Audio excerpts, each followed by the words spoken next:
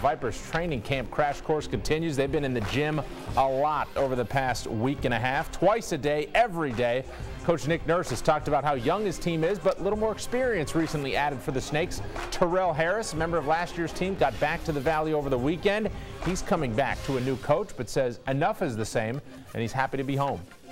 Coach Nurse, actually, he's a replica of Coach Finch, basically. You know, he does some things differently. You know, it's kind of weird because they beat us last year in the championship, but, you know, uh, it's, it's, it's, it's, a good system and it's, it's pretty similar, so I'm catching on quick.